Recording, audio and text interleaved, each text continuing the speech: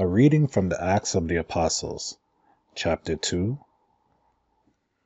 verse 42 to 47. They devoted themselves to the apostles' teaching and fellowship, to the breaking of bread and the prayers. Awe came upon everyone because many wonders and signs were being done by the apostles. All who believed were together and had all things in common.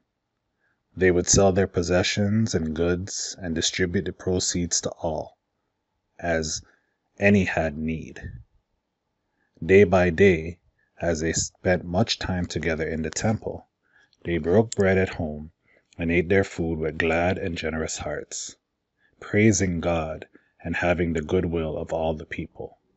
And day by day, the Lord added to their number those who were being saved.